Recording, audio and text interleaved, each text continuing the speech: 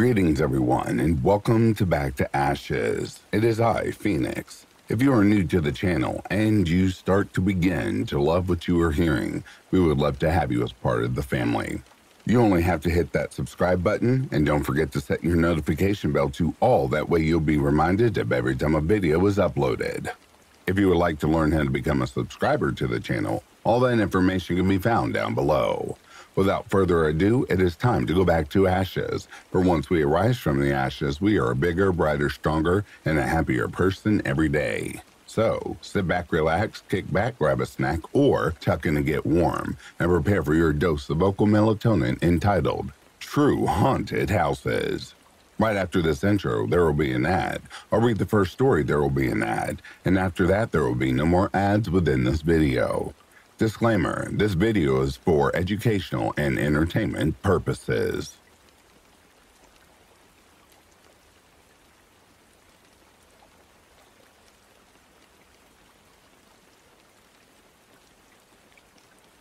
We lived in Germany in the mid 90s. My dad was Army and stationed there. We lived in this one house, an apartment and duplex. It's like a family unit on the first floor, another upstairs, plus shared basement and attic. That was haunted. One night, my brother, probably eight years old at the time, wakes up the entire house screaming bloody murder. He says he saw a cloaked figure at the foot of his bed. The feeling he got from it was pure hate, like the thing did not want him there. Years later, as we were sitting around drinking, my dad admits he saw it too while he busted into my brother's room. My dad, a very hard ass Army officer and not prone to bullshit, says he's always been sensitive to these kinds of things. Another time, my other, then baby brother, is asleep in his crib at the end of the hall. Me and my other two siblings are watching TV in the living room. My parents are out, so it's just us kids. I would have been 10 or 11 at the time, I do believe. At the beginning of the hallway was my baby brother's little bear that said the Lord's Prayer if you pressed a button on the paw. Untouched, nowhere near any of us kids, that thing starts its prayer. I kicked that thing into another room and slammed the door. The attic was a no go area. It just felt too off like you were being watched by something that hated you. Several times, my mom would hear noises coming from the kitchen, going in thinking my dad came home for lunch, only to find an empty kitchen. This was Army housing, Aukamm Housing in Wiesbaden. Creepy place. I wished I could find another family that stayed there and compare stories. Hundreds of families would have lived there over the years. I'm sure of it.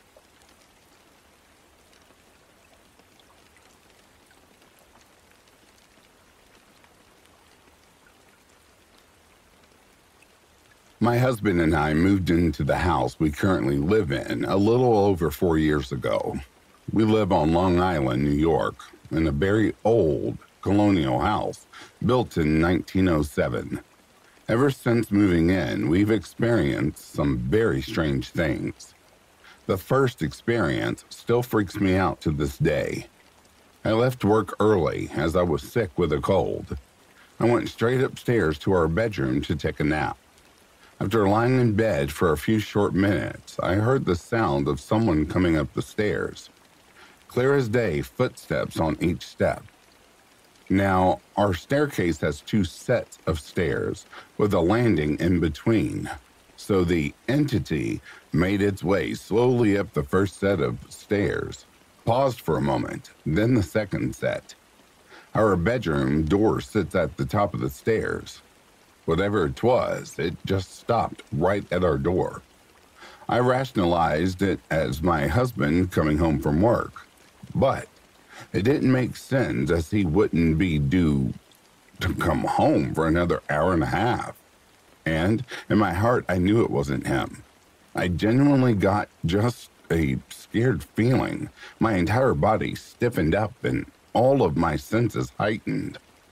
Later, when my husband did come home, I asked him if he came home early and then maybe went downstairs again and told him what I heard. He said that no, he just got home, but he didn't quite believe me. Well, about a month later, he experienced the same thing. He was uh, home from work, alone, of course, and laid down to take a nap when he heard footsteps coming up the stairs. He then started believing we weren't alone in the house. We had our baby, a boy, in 2021, and one night I was up breastfeeding him. I used to go downstairs to our living room so my husband could sleep as we went back to our work after paternity leave. So I'm sitting on the big comfy armchair snuggling our newborn, who fell asleep in my arms, when I suddenly hear footsteps upstairs. Clear as day, footsteps in our upstairs hallway. I freeze and listen carefully knowing that I didn't hear our bedroom door open, so it could not have been my husband.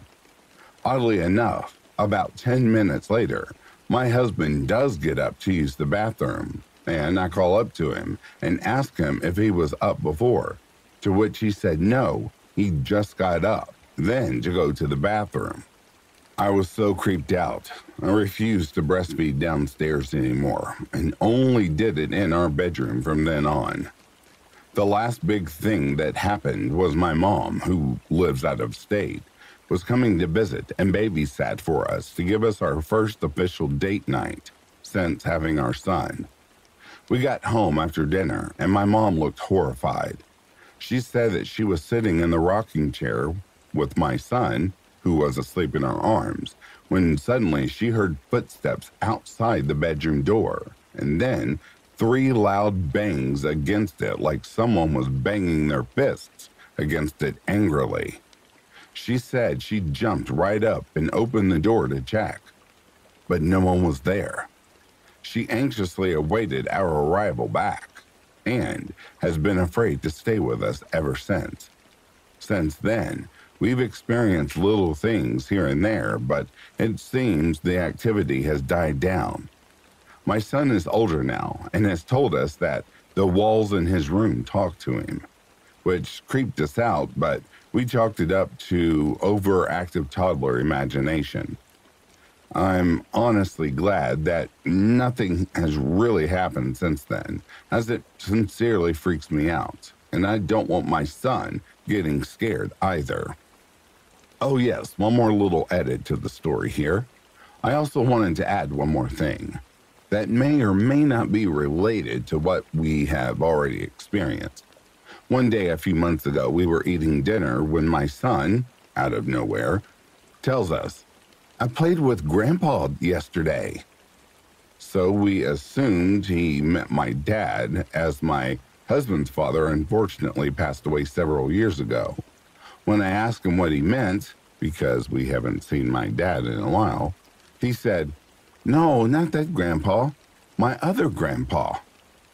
My husband and I looked at each other and asked him, What does grandpa look like? He said, He looks like a girl with long hair and he had wings and flew up into the sky. My husband's dad was a musician and had long hair all of his life. I shit you not.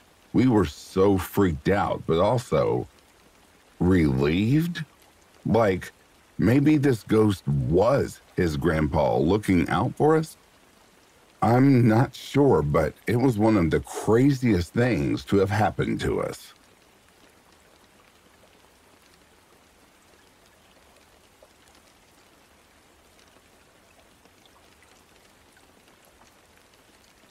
Hello, everyone. My name is Matt, and I'm from the United Kingdom.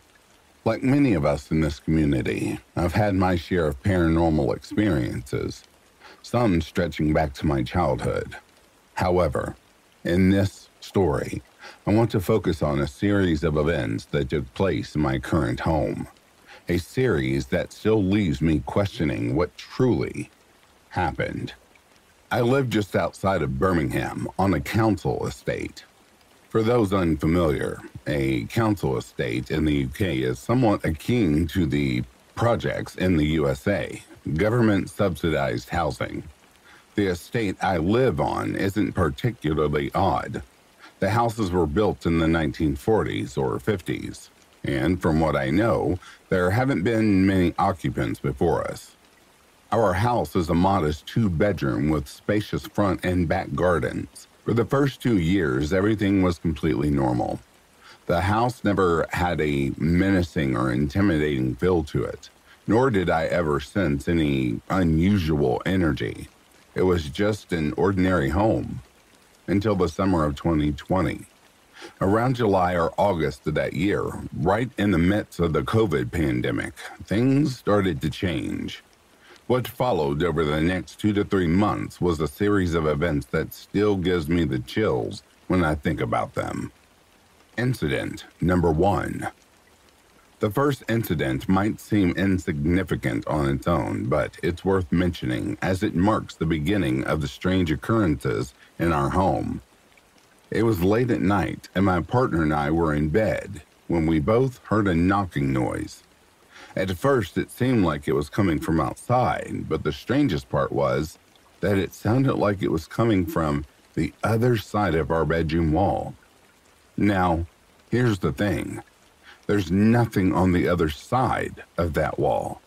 If someone or something had been knocking where we thought the sound was coming from, they would have had to be suspended about 20 feet in the air. The knocking continued for a while, following a pattern with brief pauses before resuming. It wasn't loud or aggressive, but it had a distinctly human quality to it, like someone gently tapping. We were both puzzled and a bit uneasy, trying to figure out how the sound could be coming from such an impossible location. In the end, we brushed it off as one of those unexplainable oddities and went to sleep. It's important to note that this has never happened again since that night. Incident number two. It was around 11 p.m. on a weeknight, just an ordinary evening with no strange occurrences leading up to it. At least none that I can recall. My partner and I were in the bedroom when our ring doorbell suddenly went off, chiming as if someone was walking past. Now, our driveway is quite long, and the ring is set to pick up motion only when someone is well up the pathway within a specific range. This made the alert unusual, as it's never happened before or since without a clear cause. Instantly on edge, I got out of bed and peered out the window. Living in a council estate in England, it's not uncommon to encounter some colorful characters late at night. But I saw nothing. No one was on the front garden path, and everything seemed quiet. The front light, however, had been triggered, which wasn't too unusual given the wildlife that sometimes roams around. But as I turned to my partner to comment on the strange alert, we were both startled by a loud, forceful bang on our bedroom wall. The door was shut, and it sounded as if someone had slammed their fist against it, right in the middle of the frame. The door didn't open, but it shook with enough force that I could feel the impact. I was close enough to it that a wave of fear washed over me, while my partner, oddly enough, burst into nervous laughter when I asked her what she found funny, she admitted she didn't know. It was just a gut reaction to the sudden shock. I opened the door expecting to find something, but the hallway was empty. My daughter, who was around three or four at the time, was asleep in her cot, and our cat was sitting calmly in the hallway, staring at me as if nothing out of the ordinary had happened. The timing of the doorbell ring alert just seconds before this loud bang left us both feeling incredibly uneasy. Although nothing else had happened that night, the tension lingered, making it hard to shake that feeling that something was just way too off. The ring doorbell did capture footage, but it showed nothing unusual. Just an empty path that something clearly set off the motion sensor. Adding to the creepiness was the specific alert on my phone. Instead of the usual, there's motion outside your front door notification, which typically triggers when something is at the edge of the detection range. This time it read, Someone is at your front door.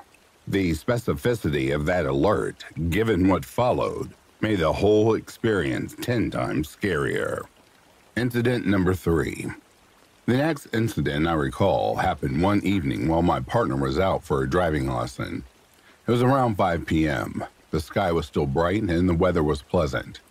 I was downstairs on my computer chatting with some friends on Discord when I decided to go upstairs to use the toilet. As I headed back down the stairs, I suddenly heard the sound of running water.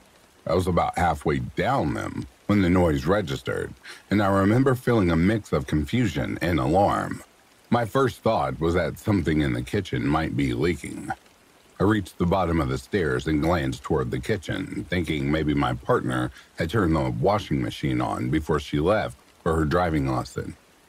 The kitchen was still in its original place from the previous occupants, a bit outdated and prone to issues. There were damage to the walls and a missing ceiling due to the huge leak we had that caused us to replace it. The surfaces, cupboards, etc., were all original to the previous occupants. As I stepped into the hallway and looked directly into the kitchen, I saw something that made my stomach drop.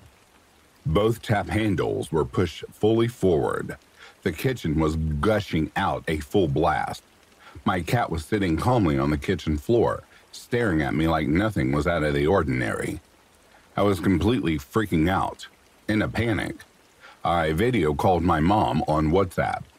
I had already mentioned the previous incidents to my family, but they had mostly shrugged them off as nothing significant. But when my mom saw the taps open wide, she freaked out too.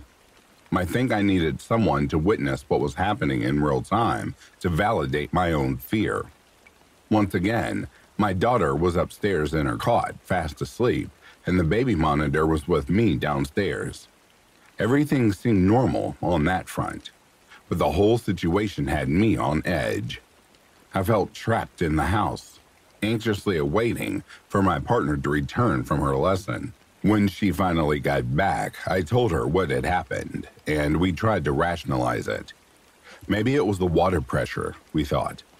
Maybe that somehow caused the taps to turn on by themselves, but it's worth noting that this had never happened before, and it hasn't happened since.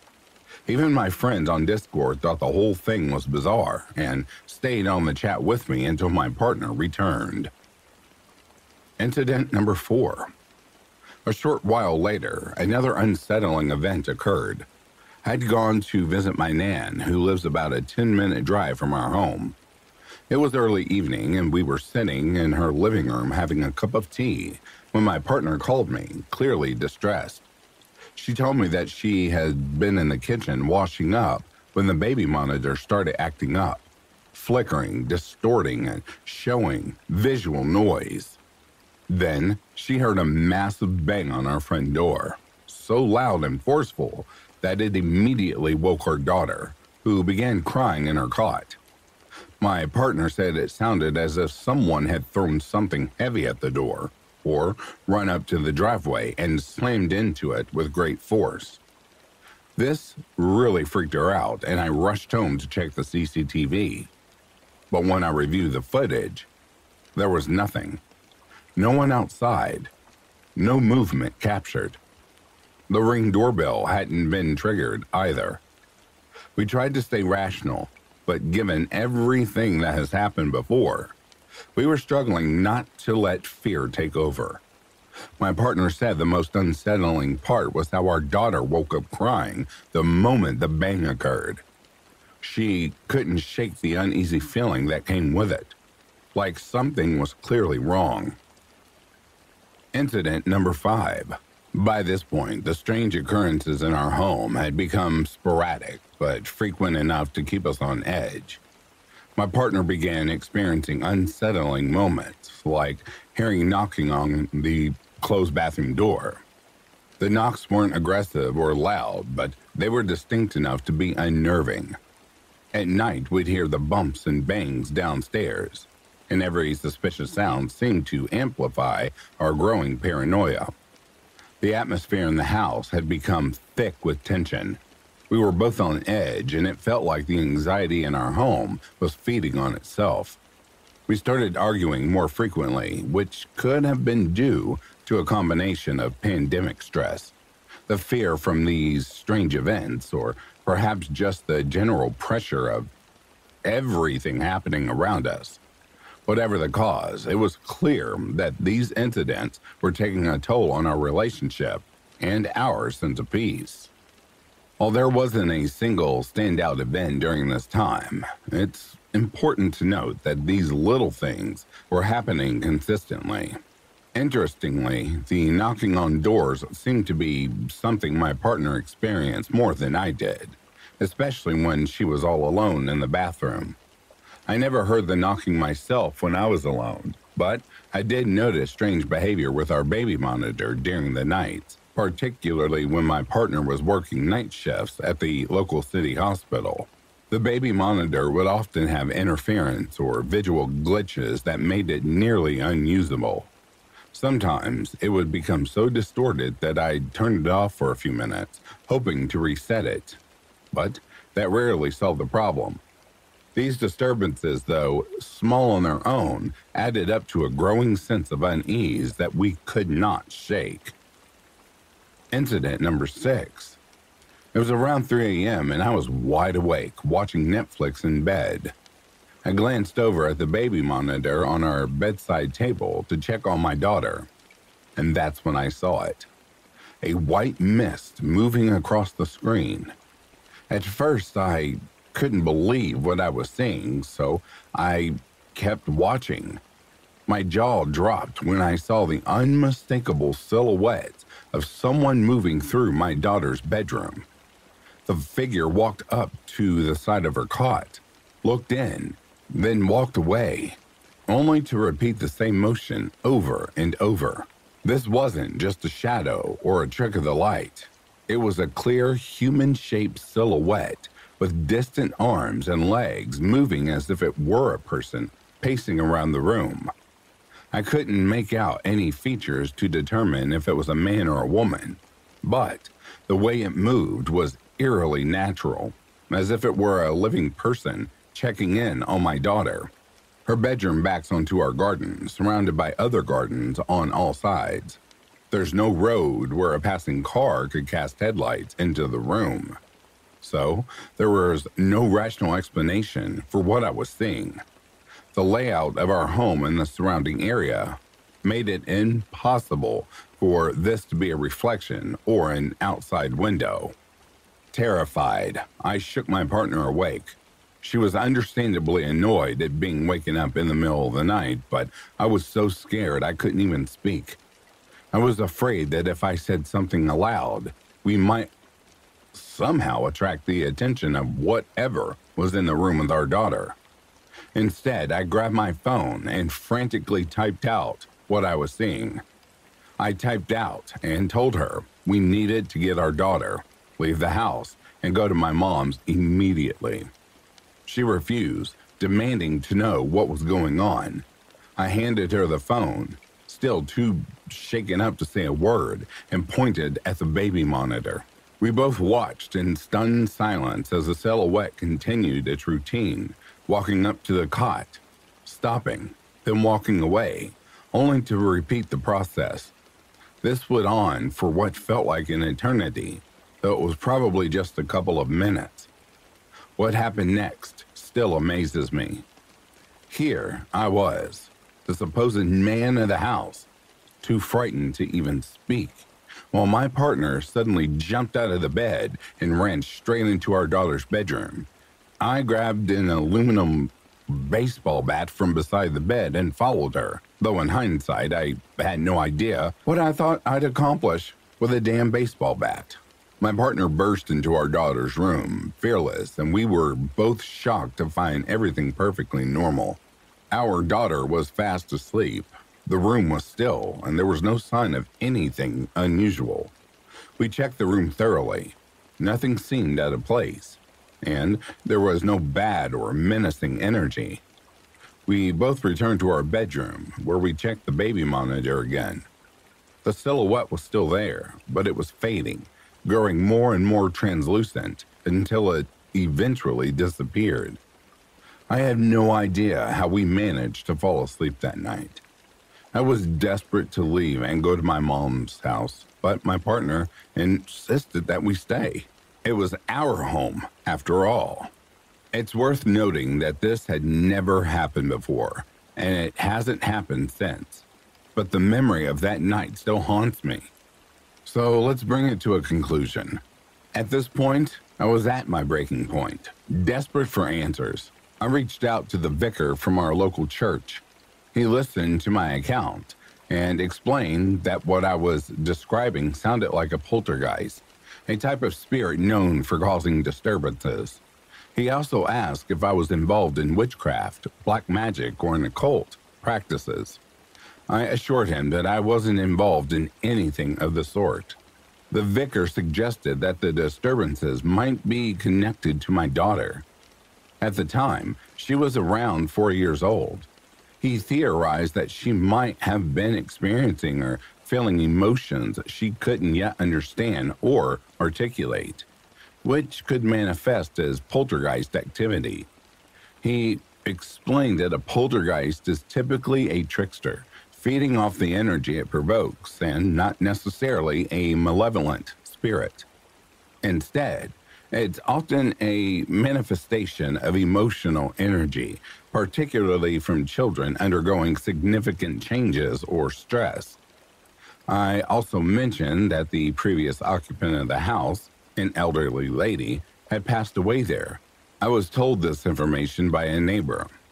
The vicar suggested that her spirit might still be present and could benefit from assistance in moving on.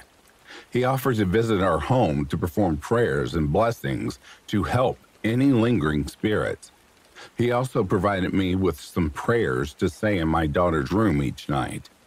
I agreed to contact him again if anything else occurred and thanked him for his guidance. It's worth noting that my partner was hesitant about these measures, concerned that they might make things worse. And so, this is where the story ends. Since contacting the vicar, the activity in our home ceased abruptly. We've had a few odd occurrences since then, but nothing comparable to the level of activity we experienced before. Reflecting on it now, I can say that if any of these incidents had occurred in isolation, I might have dismissed them as more coincidences. However, the sequence and intensity of the events make it difficult to ignore the possibility of something meaningful linking them together. The baby monitor incident remains a particularly eerie piece of evidence. Despite our efforts to rationalize the experience, that one event continues to stand out as a profound mystery. The fact that both my partner and I witnessed it together, at the very least, is evidence enough for us that we did experience something that night.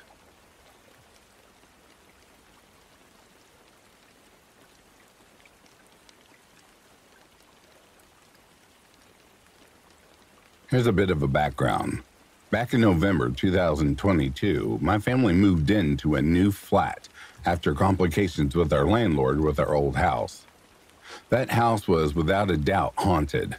I saw figures, heard noises, nightly from the attic and was the reason I started believing in the paranormal. So I was a little disappointed that I wasn't getting anything in our new place.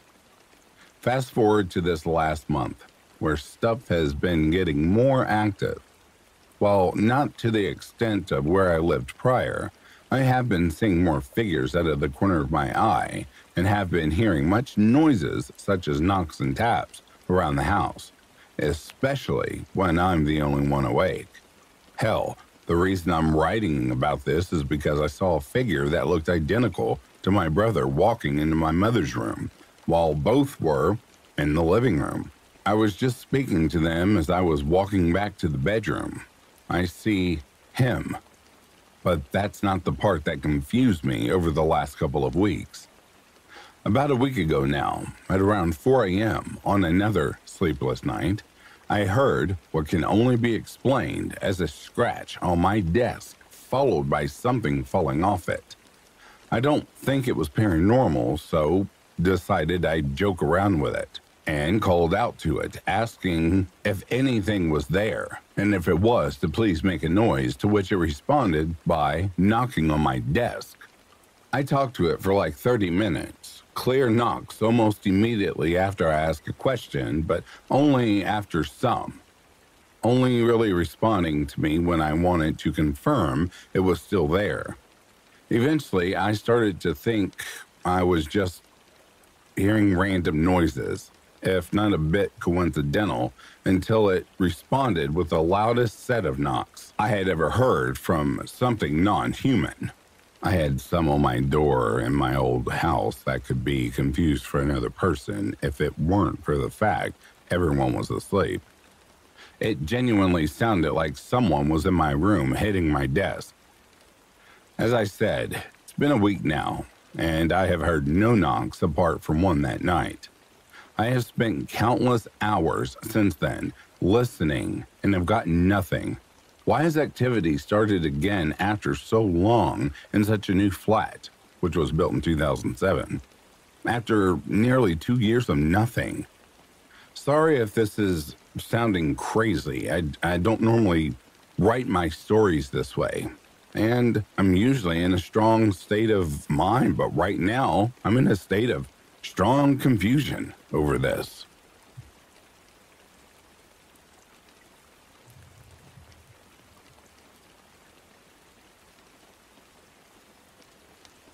This took place back in 2019 when I was 11. My grandparents live in a large Victorian styled home on the outskirts of Portland, Oregon. The building was made in the late 1800s, so it has that classic old building look to it. Me and my family go down there occasionally from our home up near Bellingham, Washington. And in early September of that year, my family decided that they wanted to pay my grandparents a visit. I was excited to see my grandparents, but not so much to go to the house. Up until that point, nothing out of the ordinary had happened in that house. The only thing it did was creep me out especially if I was alone. The first day we were there, nothing out of the ordinary happened. My grandparents and I did our annual game of Clue, a murder mystery board game for those that don't know. We enjoyed dinner, and that was basically it. But little did I know, when I went to sleep that night, that tomorrow would be anything but ordinary. When I woke up the next day, I was excited because I was a die-hard Seahawks fan, and today was going to be their first game of the season. Outside it was warm and muggy, so in my room, which was one of the two rooms on the third floor, I had the window open with the fan on to let out the hot air. Later that day, my dad came up to my room and said that he and everyone else was going to go on a walk. I acknowledged him by nodding, glued to the Seahawks game that was on my tablet screen. He then left and shut the door behind him. What happens next still terrifies me to this day. About 10 minutes later, I heard what I thought to be my mom yelling from downstairs. Somewhat annoyed, I stood up and turned the fan off next to the window to listen if my mom was actually calling me or if my mind was playing tricks on me. Then I heard it again. My mom was definitely calling my name. I opened the door, frustrated. I was missing part of the game and yelled in an annoyed tone, Yeah. When there was no response, I yelled down from the third floor stairs again. Uh, yeah. Then my mom called back and said something like, I want to show you this, or something like that. I couldn't really make out what she was saying. Annoyed but not wanting to ignore my mom, I hurried down the stairs onto the second floor. Where are you? I said, genuinely not knowing where she was. Here, she said. It sounded like it was coming from the first floor, but something was off. Her voice sounded very muffled and weird. I played it off as me just being paranoid, I guess so I walked down to the first floor, now getting a little scared. Uh, Mom? I said. No reply. I searched almost every single room and no one was there. That left only one room the basement. There was no way in hell I was going down there, though. So I started heading back towards the stairs when all of a sudden the Basement door swung open. I yelled, spinning around. No one was there. Then I heard footsteps walking down the basement stairs.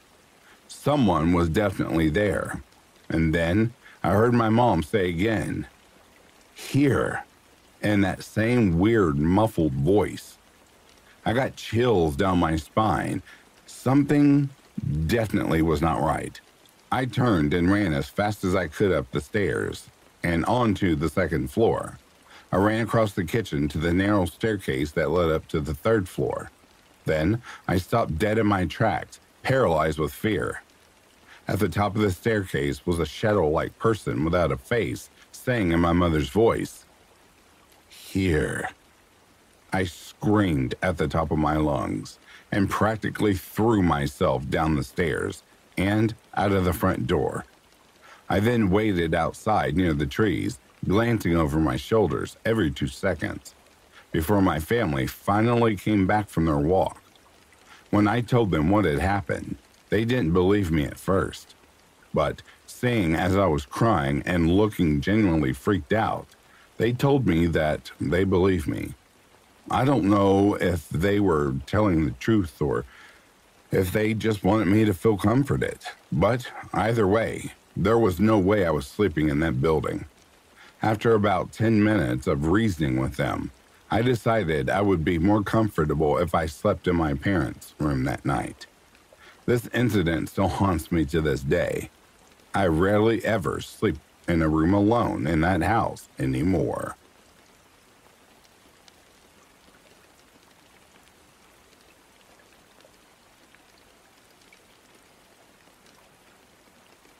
This story happened to me about 20 years ago when I was still a sophomore in high school. My aunt and uncle had a three story condo that was always kind of off. It wasn't a particularly old or creepy looking building in my recollection, but as soon as you set foot inside, there was just something in the air that reeked of something isn't right. For a little background, the condo's first floor held the living and dining areas, the kitchen, and the back door that leads to a small patio. The second story was the master bedroom, two guest bedrooms, a bathroom, and a little nook for the washer and dryer. The third floor was a game room with several old video game consoles like an Atari, a Jaguar, and Sega Genesis, with my uncle's Star Trek collection in one corner and a door that leads to the attic crawl space. It also had a pull out sofa sleeper for guests. This layout information will be important later. As I grew up, we visited the condo many times. Like I said, the entire building had an odd aura about it, but this all culminated on the third floor. When you walked over the final stair up to the third floor, the air just changed where on the second floor you could hear the sounds of family visiting downstairs and hear traffic outside, etc. On the third floor, it was always completely silent. The air was heavy and thick. No sounds permeated here, and you were always left with a feeling of being stared at or watched, almost as if you were intruding there. Being kids, my cousin and I would often go up there to the third floor to play video games. However, We never went up there alone, and absolutely never went up there at night. It was just one of those places that felt like it was on a different plane of existence, its own pocket dimension of silence and gloom. My family had seen and heard the things in that condo on multiple occasions. It was common knowledge that one could hear footsteps pacing up and down the stairs at night. You would see figures out of the corner of your eye. Doors would open and close despite being locked. Objects would move. That sort of thing. One morning, I woke up before the adults to find a trail of pennies laying end to end from the third floor all the way down to the kitchen. I remember being a little unsettled by this, but not particularly afraid. I was more interested in free money and greedily put the pennies in a Ziploc bag to take home with me. Because those things were relatively benign in nature, my family assumed it to be the spirit of my late grandfather, who was the mischievous sort in life, watching over the house at night. Fast forward to my teenage years. My uncle passed away suddenly one year, and so a flood of tight knit family descended on the condo to comfort my aunt and attend my uncle's funeral. Because there were so many people staying in the condo, my mom, dad, sister, and I were regulated to sleeping upstairs on the third floor. I was creeped out, but I figured, hey, how bad could it be? Boy, was I in for a surprise. The day of the funeral came, and we all attended the wake, after which the family gathered outside to comfort my aunt, who was sobbing uncontrollably at the loss of her husband. I remember the sound being a gut wrenching, heartbreaking cry of pure despair. I actually hurt to listen to it, so I quickly retreated from the crowd of onlookers and went to find my cousins until we were ready to leave. Little did I know that all hell was about to break loose. We got back to the condo, and everyone wept and shared stories of my uncle. After some time, we all grew tired and decided it was time for bed. I slept on the sofa while my mom and dad and little sister all shared an air mattress down on the floor by the foot of the sofa. What I remember most about that night was the cold. I startled awake in the middle of the night, unsure of what I had woken up to, only to be greeted by the same bone biting, skin saturating cold I had never felt in my life. It permeated the entire third floor, soaking through my clothes and into my body. I shuddered and pulled the blankets tighter around me. I remember being puzzled by the cold, as the third floor usually got uncomfortably warm. I lay there shivering for a few minutes, and then I heard it. The sound I heard is hard to describe, but is possibly best described as something trying its best to mimic my aunt's sobbing from earlier. It was a dry, raspy voice crying and choking and carrying on in a mocking tone, and it was extremely loud. I mean, ear splittingly loud. It was coming from the far corner of the room, over by the crawlspace door. I froze in terror. What in the hell was going on? Was this some kind of an entity? I peeked over the edge of the blanket and gazed into the darkness at the corner of the room. Nothing, of course, was there. My mother, having had past experiences with paranormal things, had once told me that if anything scary ever happened like that, to ignore it and it would go away. So, that's exactly what I tried to do. I squinted my eyes shut and pretended to be asleep. When that didn't work, I tried covering my head with a couch cushion to blot out the sound of this thing.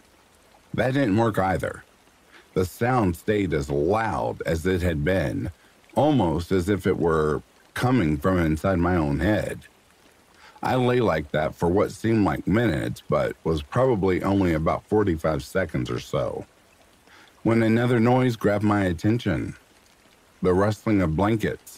I peered out from under my own blanket to see my mother had bolted up on the air mattress. She looked left and looked right with a confused expression on her face, and then jumped up and ran down the stairs to the second floor. My father and sister were still sound asleep. The next thing is what my mom told me happened after she ran down the stairs. Mom got to the second floor and immediately opened the master bedroom, thinking my aunt was awake and crying.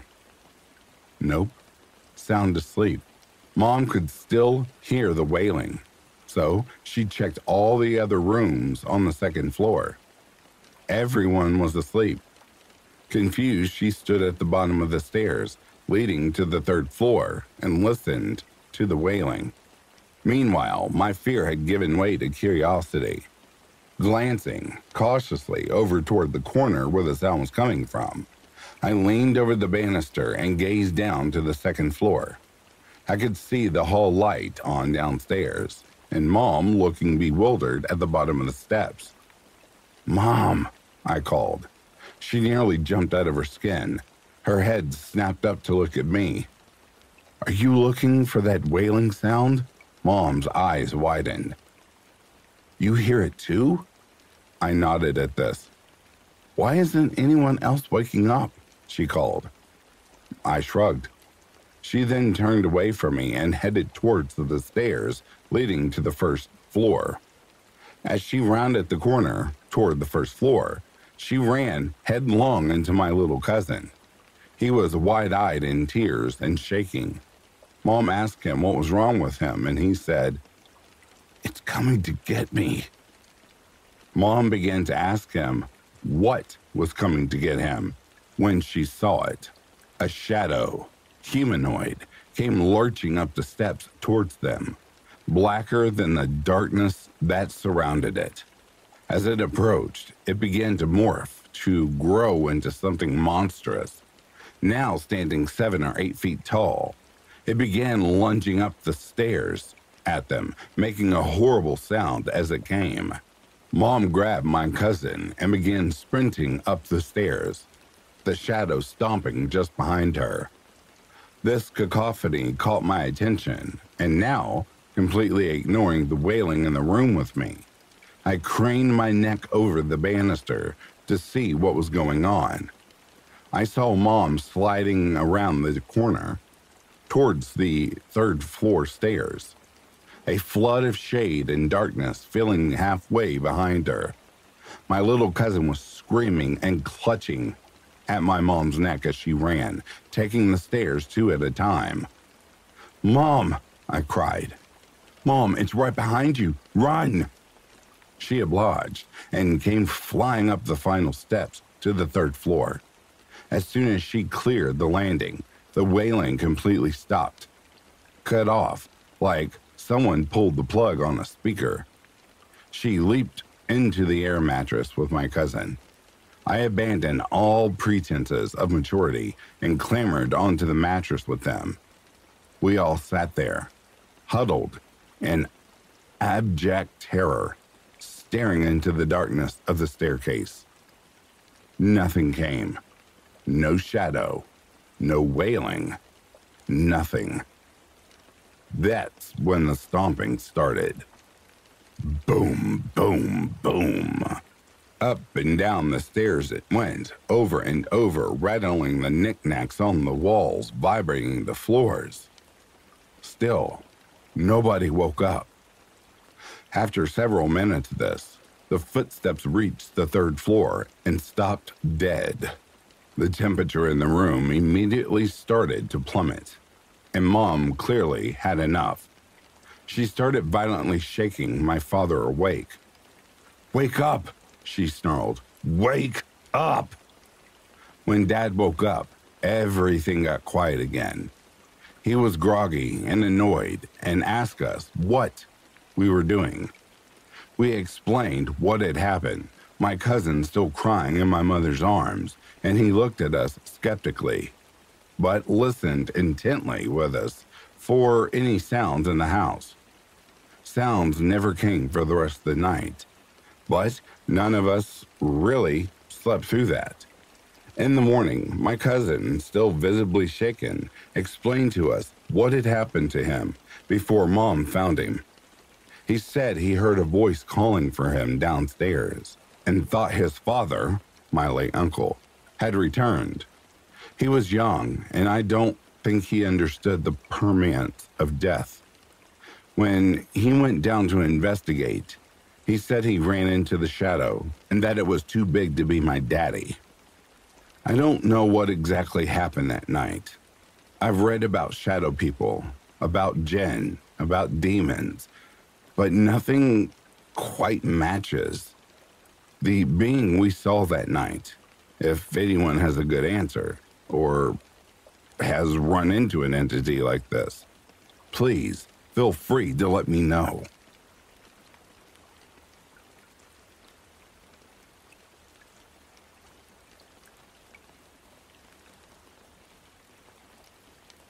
And that, dear listeners, brings a close to these true haunted house stories. Before I go any further, I would like to give a very special shout out to the elite members of Back to Ashes. Patty's niece, Chrissy Elias, Anita V, Donna, Les Crispin, Samantha Place, Coleman Carter, Corpse Lover, Stephanie McLaren, Denise S, Tina Mead, Tammy Slayton, Dova Khaleesi, Eda Smith, Amy Klemko, and Haunted. Again, I can't express my gratitude enough for you all that choose to remain the pillar of which this channel stands upon. My deepest gratitude, always, always, always, to the subscribers, to the new listeners, and for the peekaboos that popped in to see what the channel is about. Thank you for your support. For without you, I would not have a voice and there would not be a Back to Ashes. Thank you all so much for your support. If you are sleeping, I hope Slumberland is treating you comfortably. If you're awake, I hope you've enjoyed this collection. Until next time, please take care of yourselves. I'll be reading to you soon. Have yourself a good morning, a good afternoon, or a good night. Peace, love, and light to you all.